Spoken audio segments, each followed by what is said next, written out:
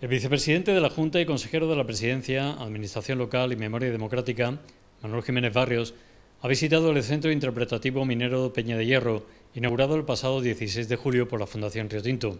La Consejería de Medio Ambiente y Ordenación del Territorio ha equipado estas instalaciones culminando así la rehabilitación de un edificio que supone un nuevo atractivo turístico para la comarca. El soporte de la Junta, de cerca de 400.000 euros, se ha materializado en mobiliario, expositores, iluminación, dotación audiovisual, equipos informáticos, maquetas y otros recursos expositivos complementarios e indicaciones exteriores.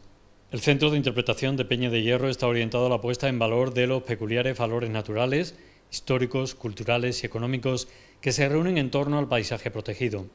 Se encuentra estructurado en tres áreas funcionales, recepción e información, sala de exposiciones y sala de proyecciones y conferencias. La dotación museística está dividida en seis bloques interpretativos, el río Tinto y su cuenca, en el que se ofrece una información general del ámbito territorial, la actividad minera en la cuenca del Tinto, en el que se invita al visitante a recorrer la evolución histórica de la minería en la comarca,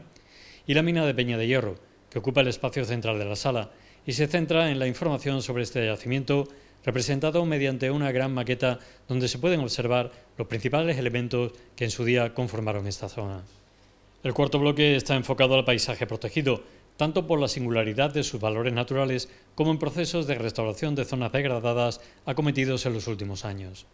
El siguiente espacio se organiza en torno a las consecuencias del cese de la actividad minera de muchos yacimientos y en las oportunidades de futuro de la comarca. Por último, el sexto bloque recorre los municipios que conforman el paisaje protegido. El río Tinto es un enclave único en el mundo tanto por su belleza cromática como por sus excepcionales condiciones ambientales, caracterizándose sus aguas principalmente por su acidez, color rojizo, alto contenido en sales ferruginosas y escasez de oxígeno, debido a la actividad minera desde su paso por Peña de Hierro.